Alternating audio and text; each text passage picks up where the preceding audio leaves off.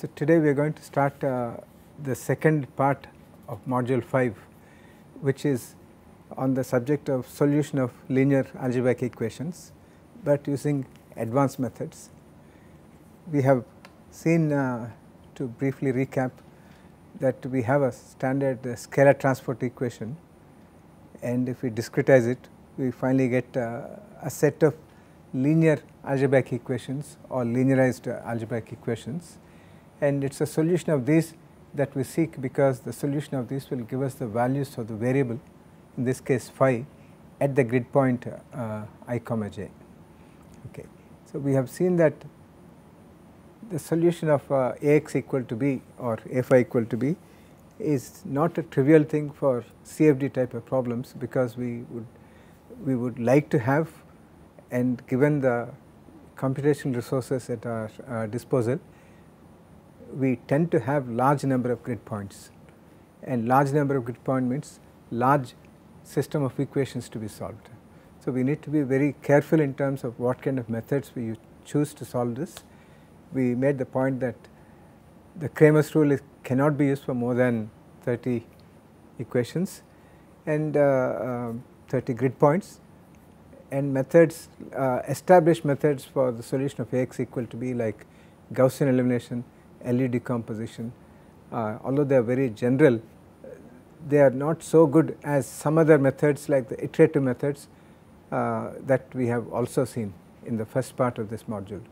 We saw two basic iterative methods the Jacobi method and the Gaussian Gauss-Seidel method and we have seen that these are fairly easy to implement and uh, write programs for and uh, they tend to have uh, an arithmetic operation count which varies as n square where n is the number of equations to be solved compared to n cubed for Gaussian elimination or uh, uh, LU decomposition method. We have also seen one very good direct method the tridiagonal algorithm in which the operation count varies as n, but that is not uh, applicable for the general case it is applicable only, only for one dimensional problem, one dimensional problem with uh, 3 diagonals. And uh, so when you look at the more generic method then those are n cubed whereas the basic iterative methods that we have seen uh, vary as n square for a class of problems related to uh, like those have uh, happening in CFD type of problems. And uh, we have uh, also seen that that uh, in these iterative methods we do not solve x equal to b directly and we solve it in an indirect way like uh, like qxk equal to q minus a times xk minus 1 plus b and approach the solution asymptotically.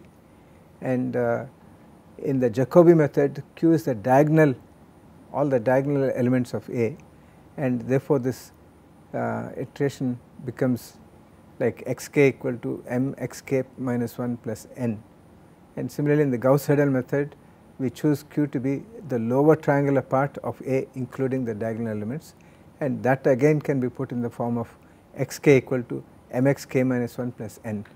Once you have this kind of formulation of the problem then we solve uh, with uh, an initial guess which can be arbitrary in the case of convergent schemes. We start with any initial guess and then we get x1 from you put x1 here you get x2 and so on and then we keep on doing it and uh, eventually the solution converges is uh, for a convergent scheme. We also saw that in actual computations of Ax equal to b using the Jacobi method and Gauss-Seidel method, we do not do matrix inversion, but we rewrite them in this simple way. We reposition them in the simple way so as to get uh, an estimated value of x1 k plus 1, x2 k plus 1, x3 k plus 1 all the way up to xn minus k plus 1 and xn k plus 1 in a sequential way using all the guess values or the last previous iteration values of the uh, of all the other variables and uh, we have also seen that the way that we solve uh, the Gauss-Seidel method and Jacobi method they are slightly different.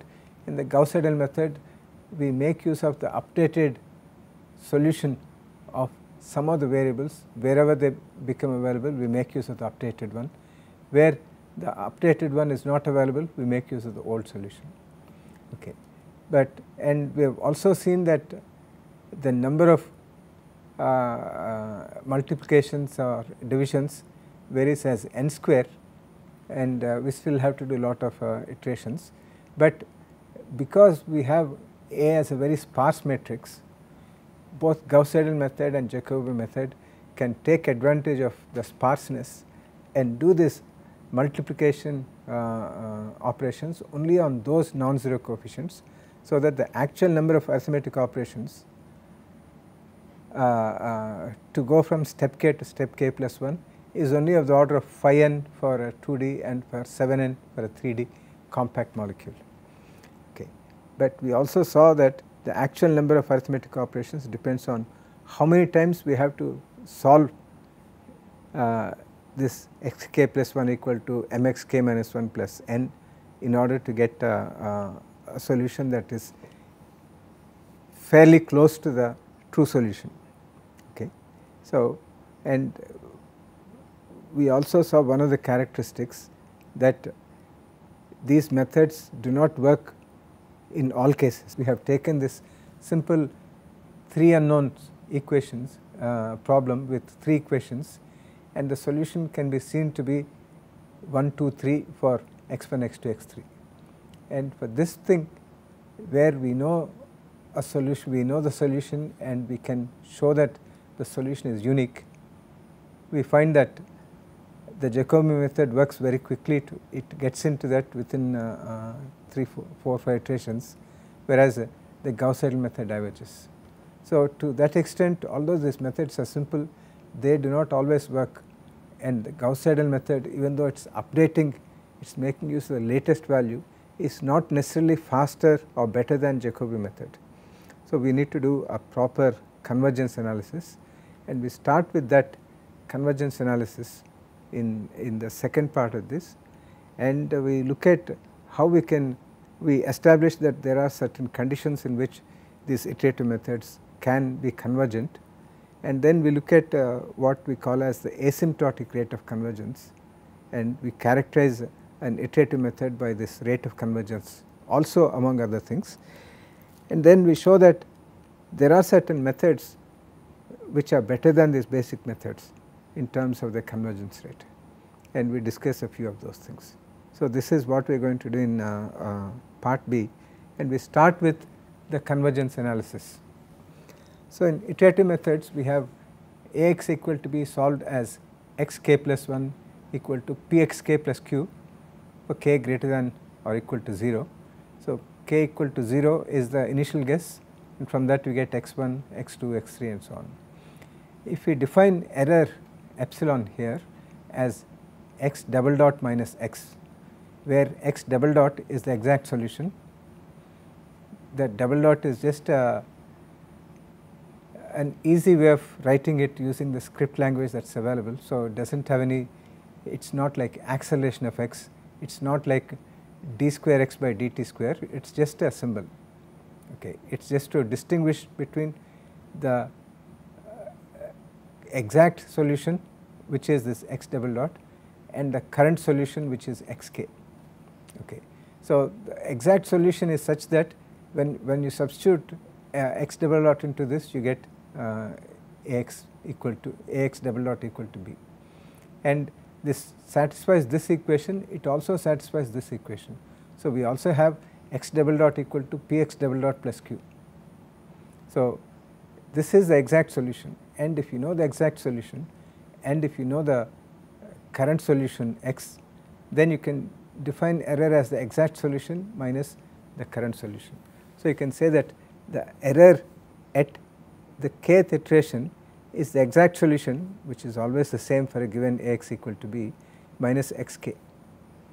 And we also have xk such that once you put this is only this is the one by which we are getting xk or xk plus 1 and if you have xk you can put that into this equation and find out what is axk and axk need not be equal to b. Okay so it is equal to bk okay so the difference between bk and b is what is known as the residual. And this residual means that there is a residual amount of dissatisfaction or unsatisfaction of the given equation Ax equal to b by the current uh, value xk. So, if you substitute xk into this equation and then you get bk and if bk is equal to b then xk is the exact solution because it is satisfying this equation. So, the difference between b and bk is therefore the uh, amount of non satisfaction of the equation uh, x equal to b by our current guess or current estimated value of xk. So, this is the residual amount that still needs to be satisfied. Okay. So, how can we get that? We can put this delta k as b minus axk. Although we cannot compute error because we do not know the true solution, we can readily compute the residual because in order to compute the residual you just have b which is known because the problem is given and then xk is the current uh, estimate value. So, we know this and a is also known. So, b minus xk is the residual. If the residual is 0 the solution has converged. Okay. If it is not 0 it has not converged and we need to do more. If the residual is very very small then we can say it is okay it is uh, pretty close to the solution. If it is satisfactory to me then I will take it. Okay if it is satisfactory to me in the sense that it is not there is nothing personal here. If if I, I see the previous iteration value and the current iteration value and if the two differ by only in the fifth decimal place or the eighth decimal place then maybe I say that okay it is accurate enough for my purposes and I can stop. Okay. So, we would like to uh, decrease the residual and when you look at it closely this delta k, k is the superscript telling us how many iterations we have done starting from the initial guess. But this delta here is not for a single equation, it is for the entire set of equations. And since we are writing delta equal to b minus bk, b and bk are both column vectors. So, delta k is also a column vector. So, that means that it indicates the amount of non satisfaction of Ax equal to b for each equation.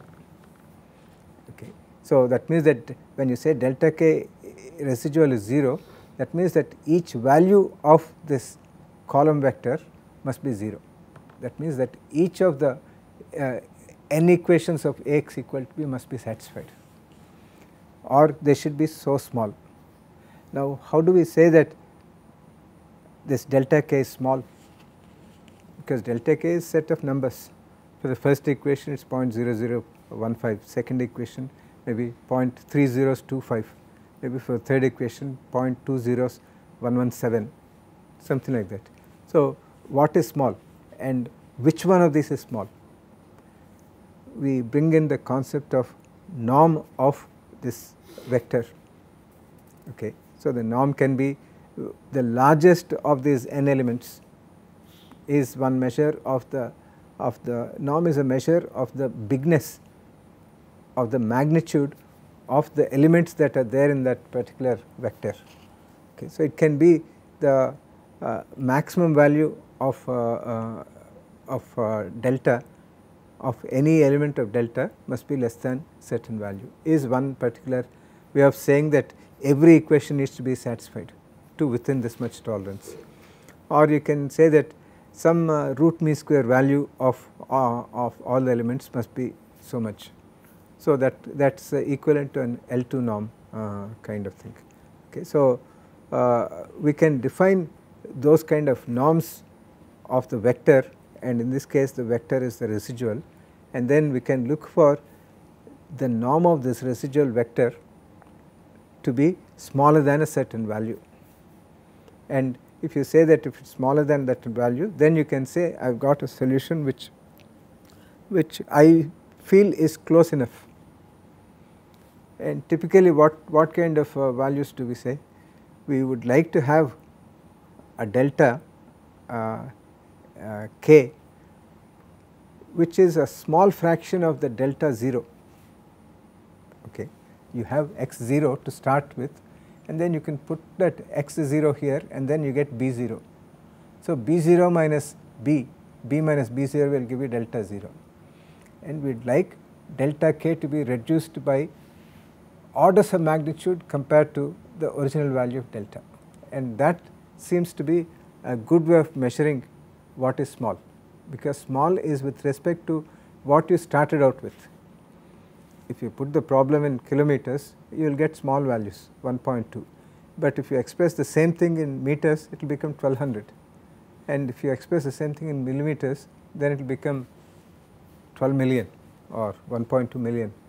And uh, uh, so in that sense it is not the number because the number changes with the units.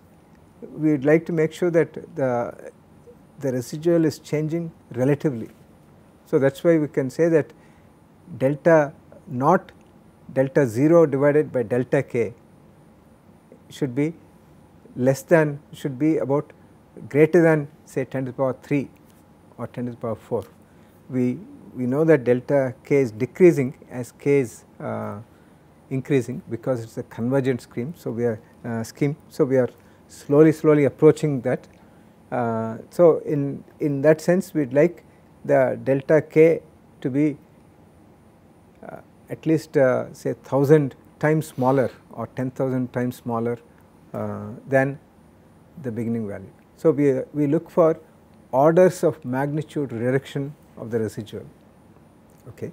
So, how many iterations does it take to reduce the order of magnitude uh, of the residual by a factor of 10 or a factor of e is known as uh, asymptotic convergence rate. We will come to that shortly. Okay. So, if we we have this one here and we have this if you subtract this from this you get x double dot minus x k plus 1 is epsilon k plus 1. So, the error at k plus 1 is p times x double dot minus xk. So, that is error at k this and q and q will cancel out. So, by subtracting this from this you can say that error at k plus 1 is p times error at k. So, in the simplest sense if epsilons were not vectors, if p is not a matrix, okay, so then you could say p is a, a multiplication factor. Okay. So, the error at uh, k is being multiplied by a factor given by p and that is the error at k plus 1. So, this multiplication factor or the amplification factor is, uh, uh, is how the error is changing and it does not it is not constant the multiplication factor, but it is an indication of whether the scheme is convergent and how, how fast it is converging. If obviously if p is less than 1 if it is a scalar then you could say you have a convergent scheme because if p is 0.9 next time it is only 0.9 of the current value next time it is 0.9 times 0.9 0.81 so in that sense it is gradually decreasing. So at the end of m iterations you can say that the error at m this should have been a superscript is p raised power m times error at 0.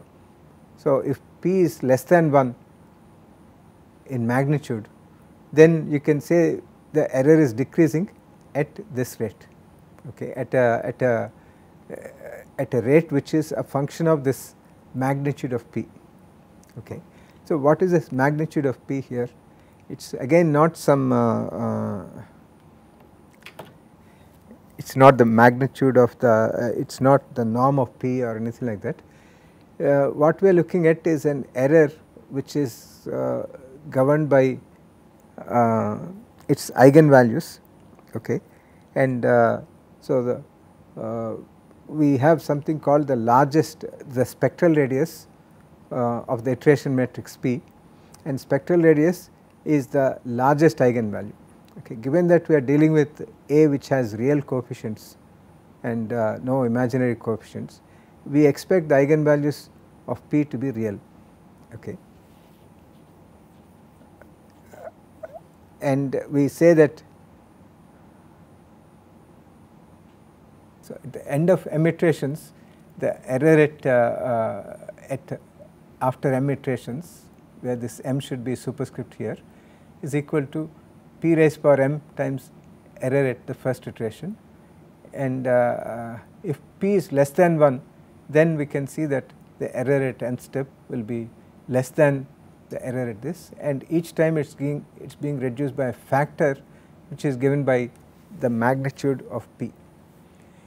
Now in this particular case p is not uh, uh, some simple factor the residual usually uh, uh, varies in, in a non uh, it can vary in a monotonic way like this and in some cases it can even increase and then decrease. Okay. So, here we have at kth iteration we have xk and we can compute x, axk equal to bk and then we define this uh, uh, residual k. And residual reduction is not uniform. It does not decrease at the same rate along with iteration number, but uh, one can do some mathematics and say that it is governed by the eigenvalues of the iteration matrix. And these eigenvalues are going to be uh, some are going to be large and some are going to be small. There are n number of eigenvalues for uh, n system of equations. So, if you have million grid points you will have million eigenvalues. Okay. So, all of those eigenvalues will be contributing to the reduction of error at all the time, but those eigenvalues which are small will die out first, their influence dies out first and the largest eigenvalue is the one which is going to ultimately determine the rate at which how fast the residual is decreasing. Okay. So, as you go through this uh, uh, iteration uh, number initially you have usually a steep variation because the small eigenvalue contribution is decreasing pretty fast and eventually when you put this on a log scale and this on a log scale uh, okay log scale and this this is linear you will see something like uh, uh, a logarithmic decrease gradual Uh, uh, decrease with a slope which is no longer changing. Okay so in this part there are different eigenvalues and all of them are contributing here and sometimes they contribute in such a way that initially the error does not decrease in especially in practical CFD computations, but then it eventually starts decreasing and as it gets closer to the solution then it will be decreasing at a constant rate at a slope which is uh, essentially the slope of this residual versus iteration number tells us at what rate it is decreasing. Okay. So, this uh, the constant slope at which it is decreasing for large number of iterations for large number of it uh, uh, m here is known as the asymptotic rate of convergence. Okay. So, that asymptotic rate of convergence is governed by the largest of the eigenvalues of the iteration matrix and that is known as the spectral radius of the iteration matrix. So, we need to know the spectral radius, we, we do not need to know all the eigenvalues, all the million eigenvalues, we need to know what is the largest eigenvalue.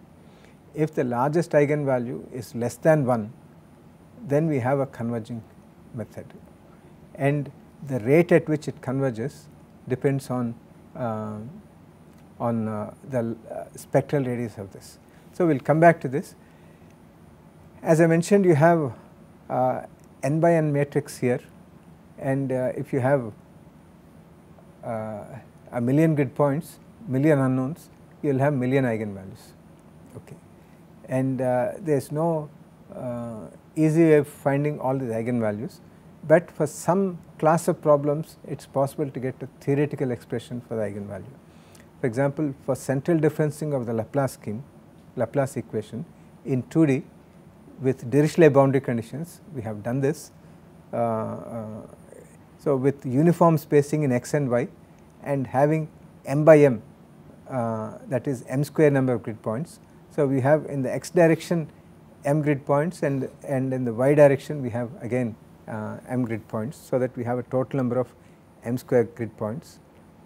The spectral radius of the iteration matrix with the Jacobi scheme is given by cosine pi by m. Okay. So, that is roughly equal to 1 minus pi square by 2 m square for large values of m. So, that is if you have a few divisions like you have a 4 by 4 matrix then this may not be applicable, but if you have 40 by 40 or 100 by 100 for large value of uh, uh, divisions m here then the largest eigenvalue is given by 1 minus pi square by 2 m square. Now, what does this mean?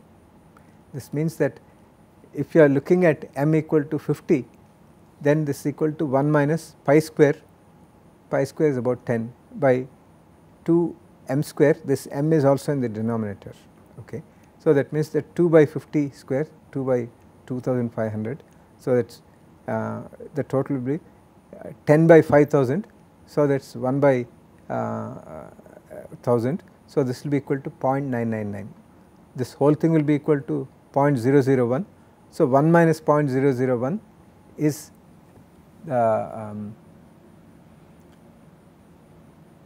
is the uh, uh, largest eigenvalue. Okay. If you take m to be 100, then this is 1 minus 10 by 2 times uh, 100 square. So, that is uh, 2 times 20 uh, 10 to the power 4 1 by 10 by 2 uh, 20,000. So, this eigenvalue largest eigenvalue will be 0.9998. Okay, so, it has increased it has increased from already large value of 0.999 to even larger value of 0.9998. Now, what is the difference? The rate of convergence is determined by how far away from 1 the spectral radius is.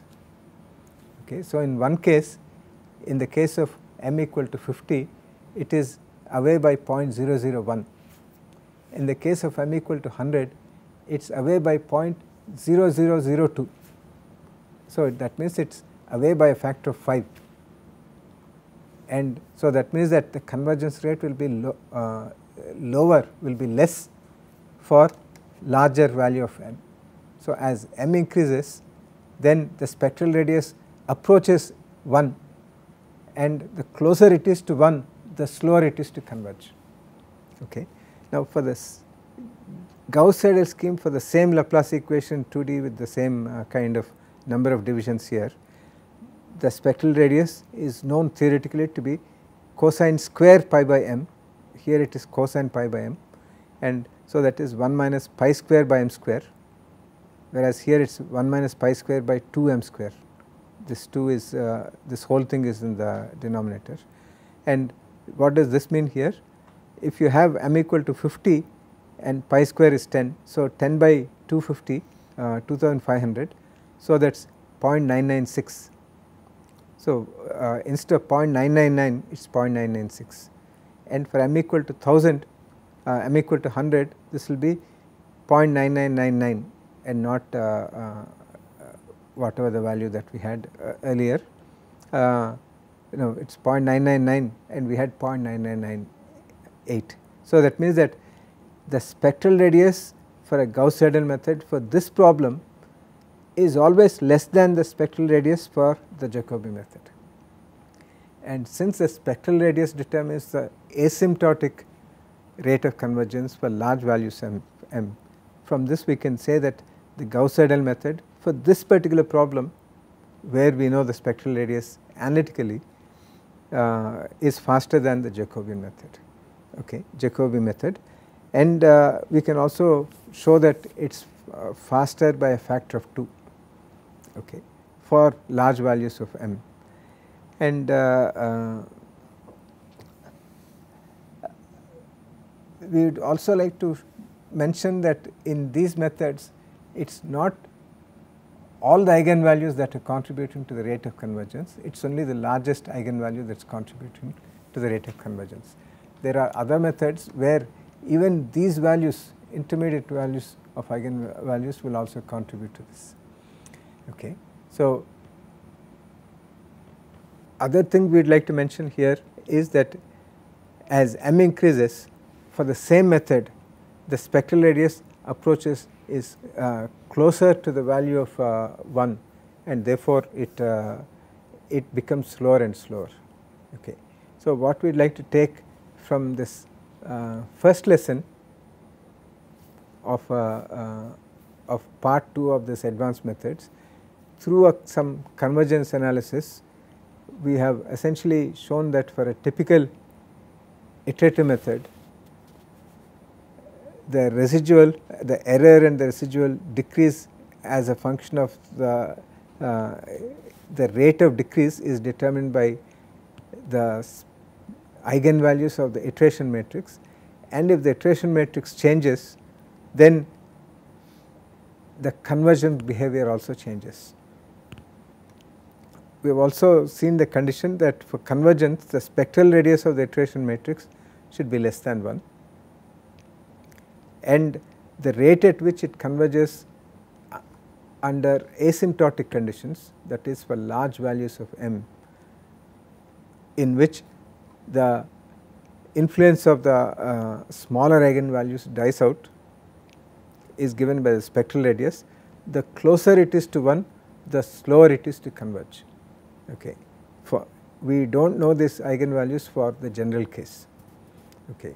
So in the specific case of Laplace equation 2D Dirichlet boundary conditions Jacobi method uniform spacing and all that then there are certain uh, mathematical formulas uh, expressions we can derive.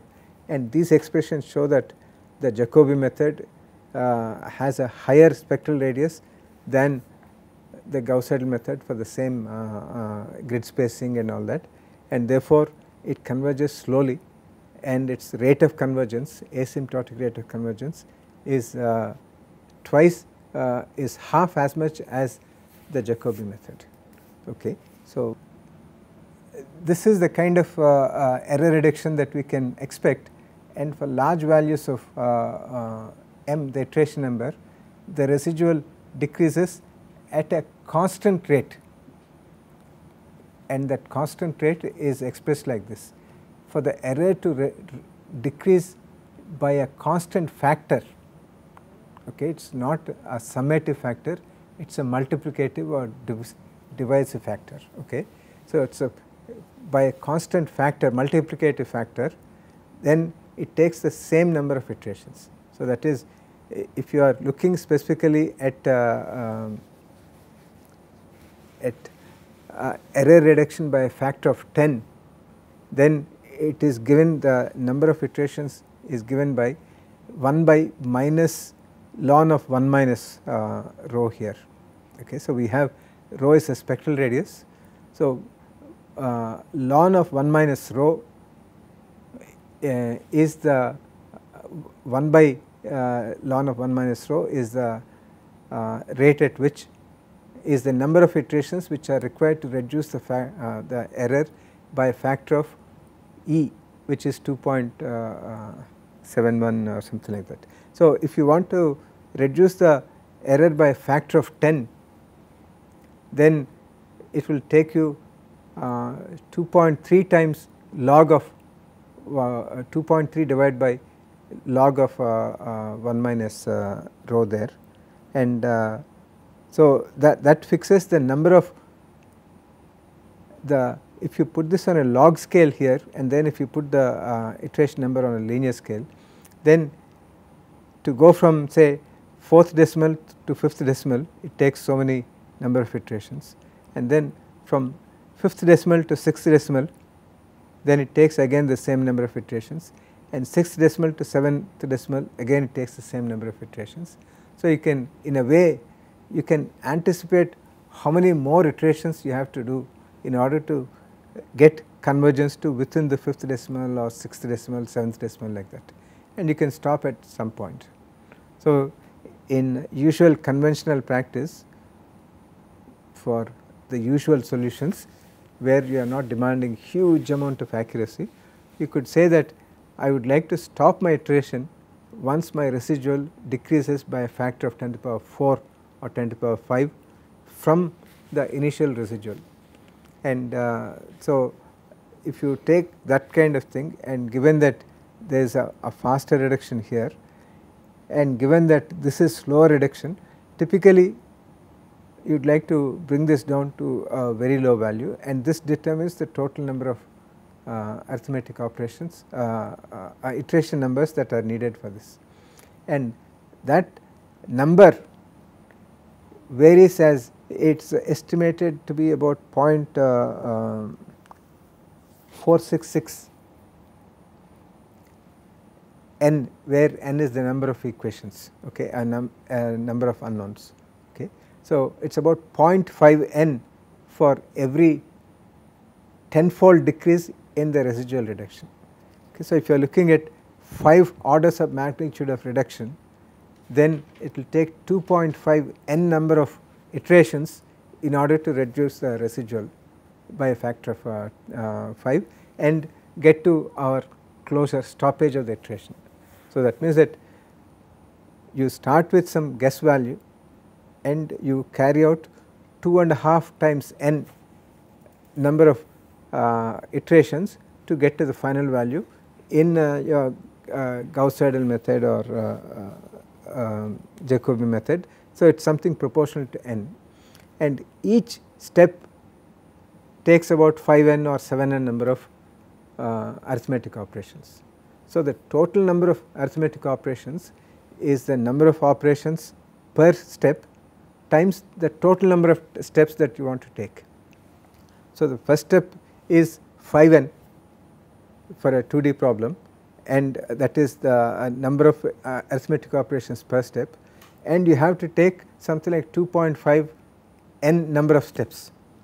So, the total number of arithmetic operations is 5 n times 2.5 n. So, that is about 12.5 n square.